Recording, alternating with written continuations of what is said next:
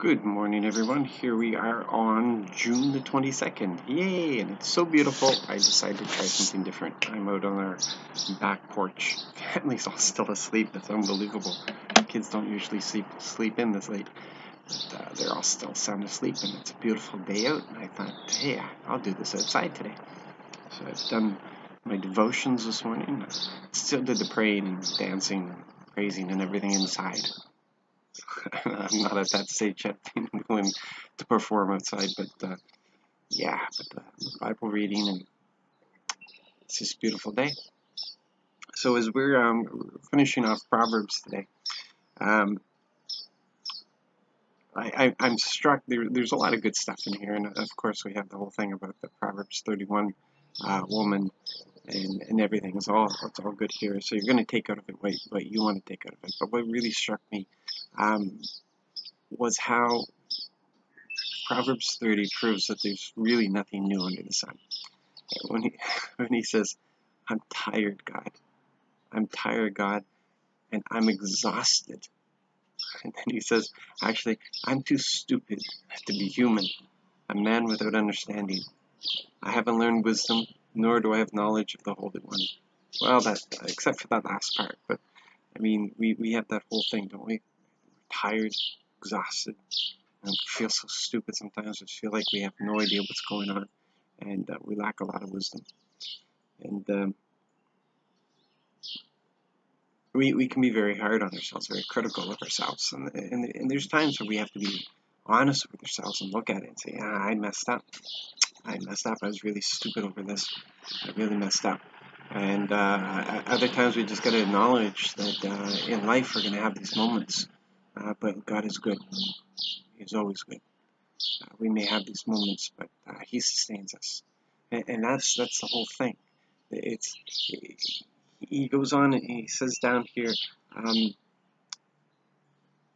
all all God's words are tried and true, a shield for those who take refuge in him. All God's words are tried and true, a shield for those who take refuge in Him. Just let those words wash over you. I don't know what kind of condition you're waking up to this morning. Uh, I don't know if you blew it yesterday. I don't know if you blew it last night or whether you've already blown it this morning.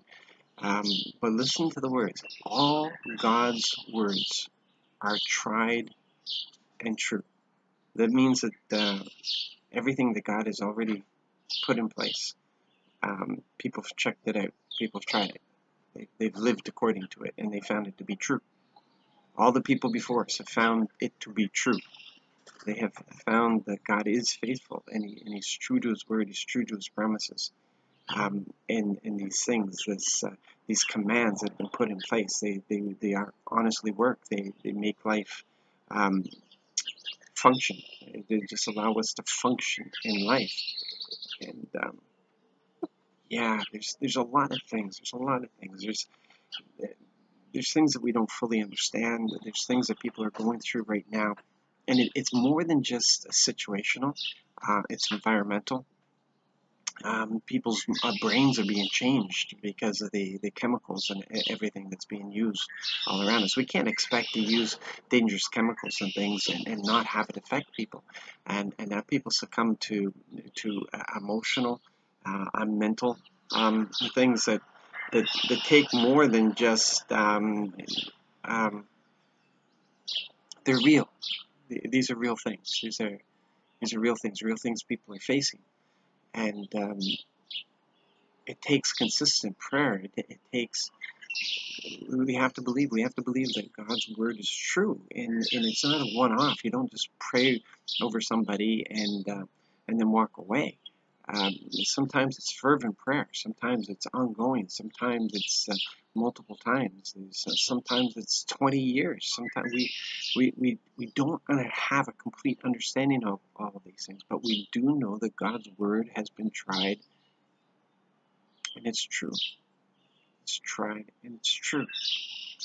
There's a reason why Jesus said that, that he wouldn't leave us. There's a reason why he said that he goes with us because we were never intended to do this by ourselves. And I've been there. I've, I've, unfortunately, I've been through burnout more than once. And, and we're not saying, oh yeah, I've been tired. That's not what burnout is at all. Uh, burnout, you get to a place where you can't function, you can't think, you can't process. Um, nothing works properly. Even even emotionally, emotionally you can't process.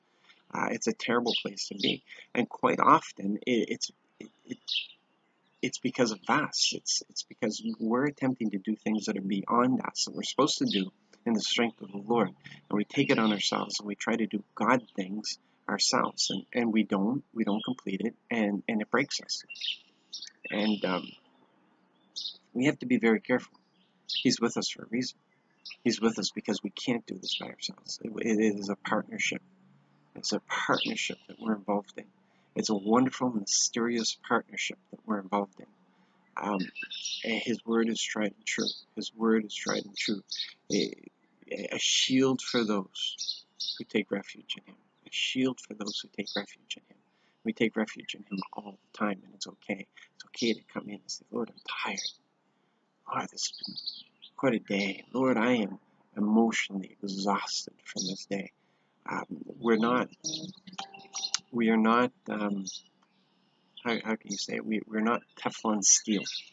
I don't know if that's still a thing or not, but we're not Teflon steel. Um, things just don't slide off of us. They, they don't. We're emotional creatures. We're, we're compassionate creatures. We're merciful creatures because that's the way God has, has made us. See, he, he has shaped us after the, the Father's heart. Uh, and we're, we're supposed to, that we are supposed to also surrender those things. It's an emptying out. It's a giving over. Lord, I can't do anything for them, so I surrender them into your hands. I petition for them. Lord, these are their needs, and, and you fight for them.